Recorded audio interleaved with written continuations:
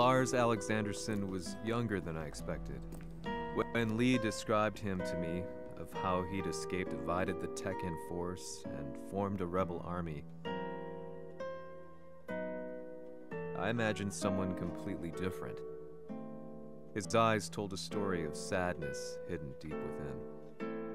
In the sterile air of Violet Systems, where he and Lee were holed up together, Lars explained to me that he was Heihachi's illegitimate child.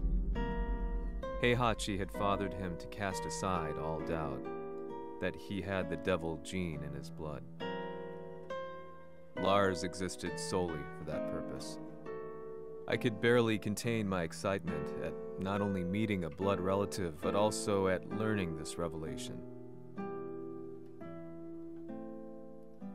While Lars and Lee conversed, I overheard something that shocked me. Jin Kazama had been found. Jin Kazama, Kazuya's son and Heihachi's grandson. The hatred I had held deep inside surged through my veins like a tidal wave. Jin had put the wheels in motion that led to me losing everything.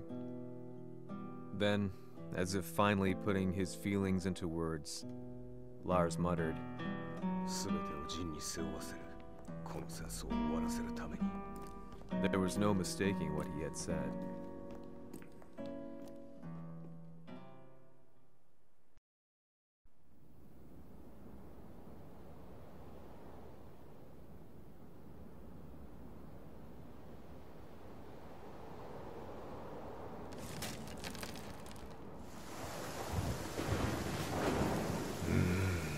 はりいくら考えても覚えが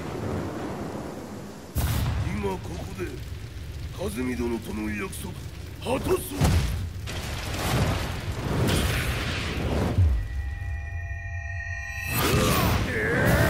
豪気というあの男。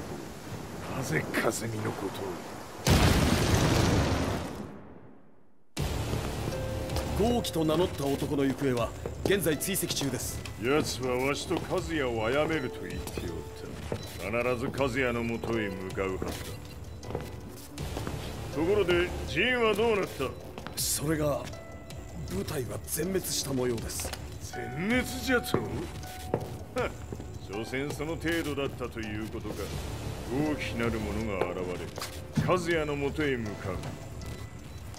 そして陣の線が断たれた。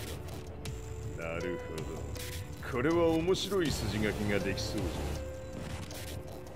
じゃ。今すぐ全世界にわしが死んだという情報を流せ。